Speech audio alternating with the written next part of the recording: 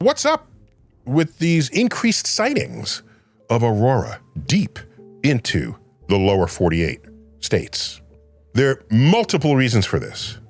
First, right now, 2024, 2025, 2026, we are at solar maximum. The sun goes through cycles, if you didn't otherwise know. These cycles last, on average, 11 years. We're at solar maximum. By the way, these coronal mass ejections are not harmless. This flux of particles, if it's high enough, can short circuit our space assets.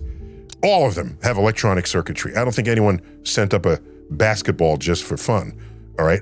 All of these satellites matter to what we call modern civilization. A high enough intensity, coronal mass ejection, can take out legions of satellites. And so there's a way to make your satellites uh, electronically hardened, is the term, to make them more resistant to this flux of charged particles than they otherwise would be so that you don't lose functionality.